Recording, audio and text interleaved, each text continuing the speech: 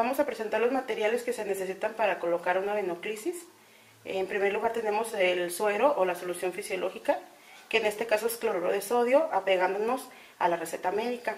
Tienes que observar tu bote, que no tenga ningún orificio, que esté perfectamente sellado del seguro y sobre todo ver la caducidad.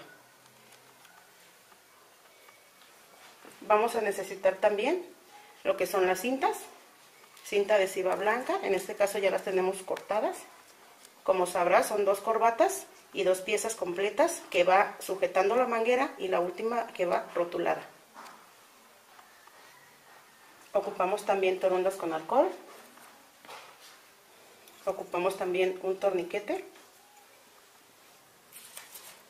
Ocupamos también diferentes punzocar, dependiendo el que le vaya a servir a tu paciente, si es joven, adolescente, niño, según las venas que tengas, si son venas delgadas o si necesitas pasar tu solución rápido. Entonces tú decides qué número de punzocar vas a necesitar. Ocupamos también el equipo de venoclisis que en este caso se llama Flebote, que esté también completamente sellado para que no vaya a haber ninguna contaminación. Por supuesto que no se te olvide los guantes, porque como vas a tener contacto con sangre, tienes que estar perfectamente protegida. Vamos a preparar la cinta para sujetar la venoclisis. Recuerden que esto lo tenemos que hacer antes de colocarnos los guantes, porque si no se pega. Vamos a doblar un poco esta punta y también esta, para que ya cuando tengas los guantes colocados no te cueste trabajo. Esta va a ser la primera corbata. Se abre de medias y se dobla precisamente para hacer la corbata, para que te quede así.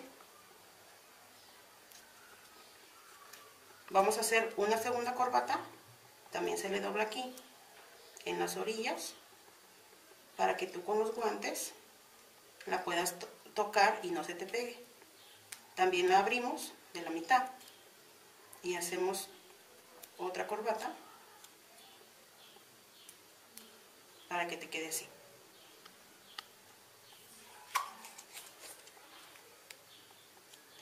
Recuerda que primero se pone corbata delgada, luego corbata un poco más gruesa y luego sujetamos con un espacio completo y en el último, que va más arriba, antes de colocarlo, recuerda que tienes que poner con una pluma la rotulación donde dice qué número de punzocat se lo puso y la fecha en que se lo pusiste y la enfermera que lo aplicó. Entonces ya están nuestras cintas listas para hacer la colocación. Vamos a colocarnos los guantes.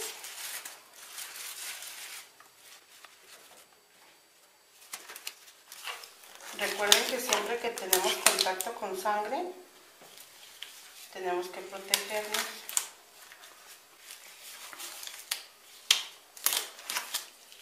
El paso número uno para acomodar la venoclisis es quitar el sello para que quede así del suero. Entonces, que también el equipo esté completamente estéril, que no tenga ninguna perforación. Quitamos en primer lugar este sello que tiene azul. Posteriormente, el sello de la cámara se retira y se coloca en el hoyito más grande.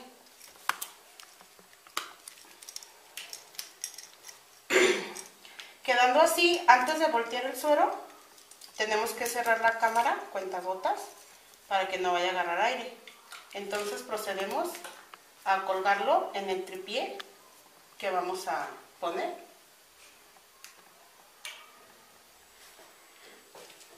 La altura del tripié es muy importante porque recuerden que tiene que estar por arriba del corazón de tu paciente.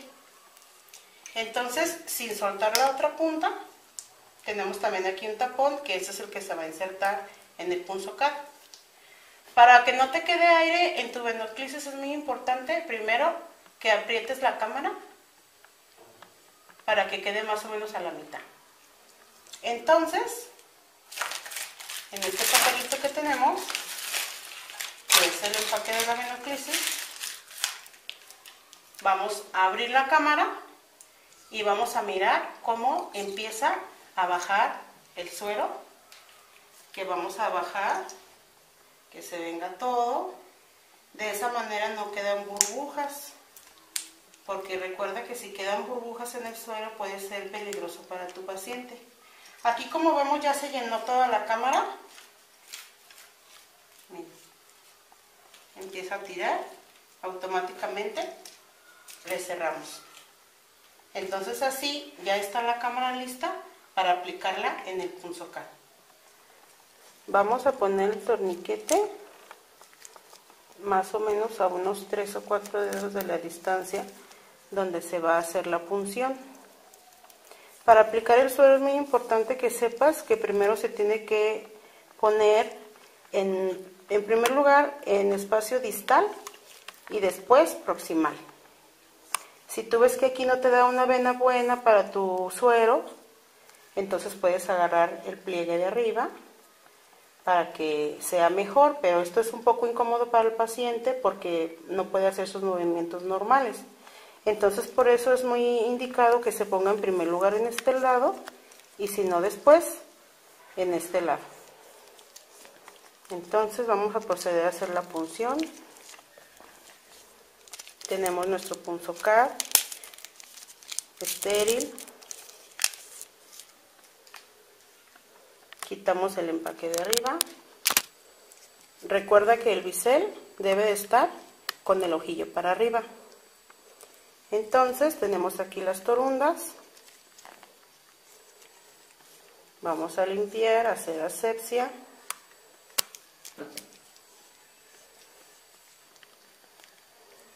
entonces procedemos a insertar. Tienes que retractar tu piel para atrás así con tu dedo para que no se haga bola al momento de poner el punzocar vamos a insertar.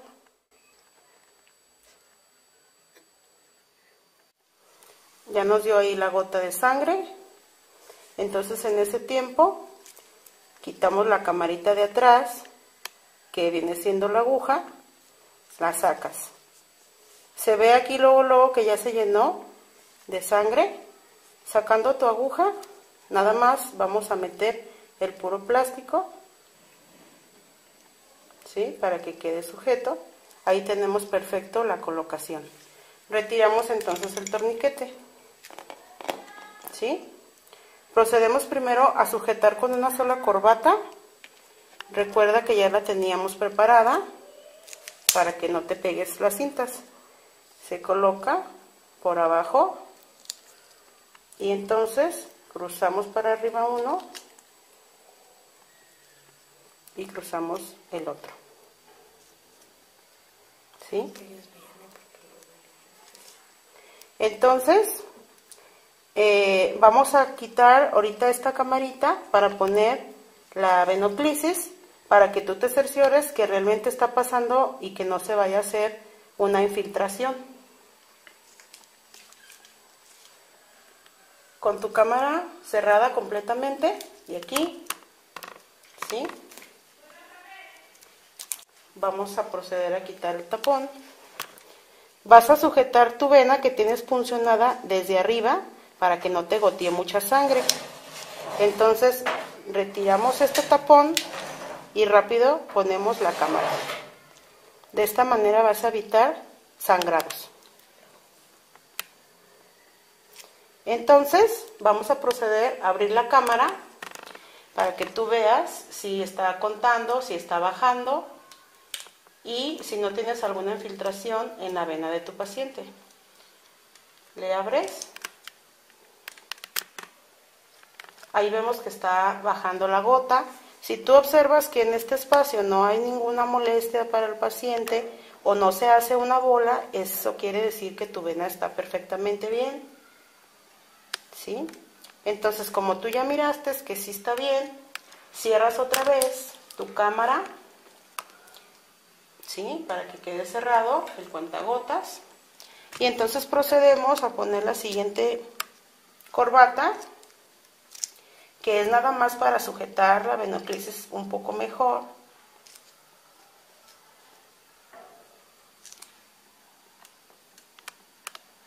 Es muy importante que recuerdes que cuando pones todas las cintas, no se tiene que tapar por completo el punzocat, puesto que ahí si se requiere quitar la venoclisis o cambiarla, queda totalmente descubierto.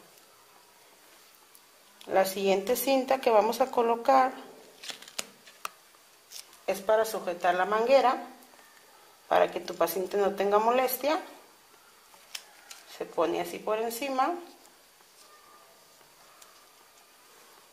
Y la última cinta que se coloca es la que tenemos que poner rotulada.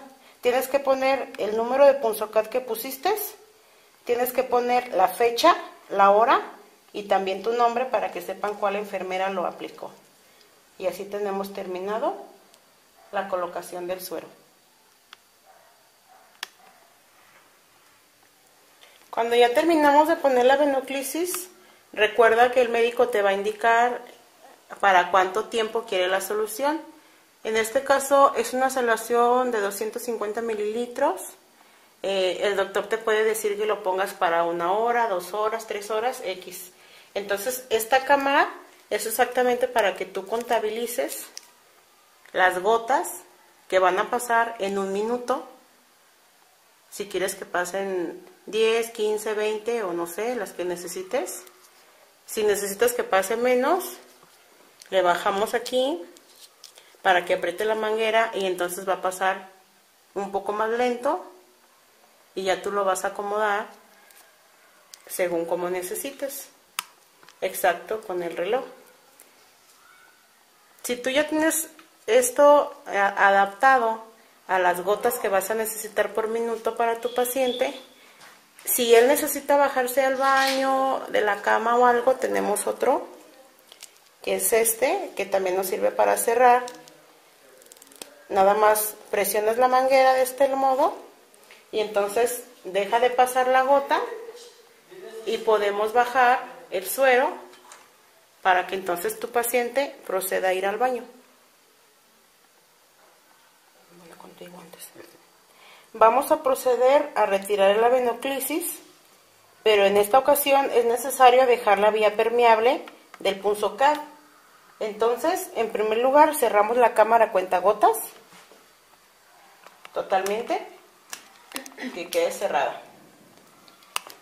Y aquí simplemente en el mismo punzo cat tenemos un taponcito. Vamos a proceder a limpiarlo perfectamente. Se retira el tapón. Y entonces vamos a hacer la misma presión en la vena. Antes de, antes de quitarlo tienes que aflojarlo un poquito porque si no a veces se atora y ya no se puede. Entonces, presionas tu vena, retiras la venoclisis y colocas el tapón, ¿sí? Esto se aplica solamente si el médico te dice que la paciente ya no necesita suero, pero que sí necesitamos dejar la vía permeable por si necesitamos aplicar más medicamento intravenoso para no volver a picar a nuestro paciente y entonces ya retiramos nada más esta manguera.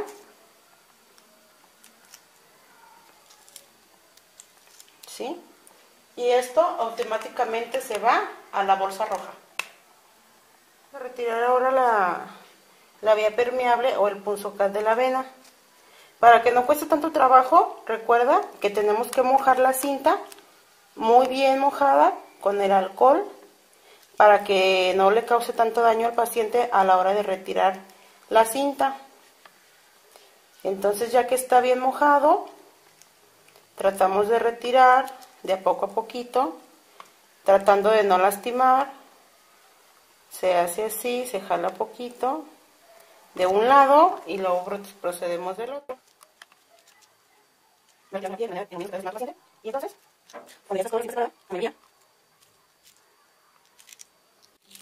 está listo. Vamos a tener la torunda lista. Retiramos entonces aquí.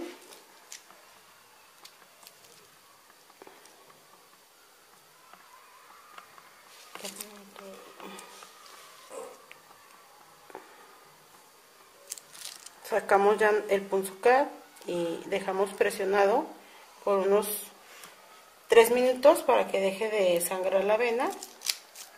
Y esto también tal cual se va a la bolsa roja de los desechos contaminados.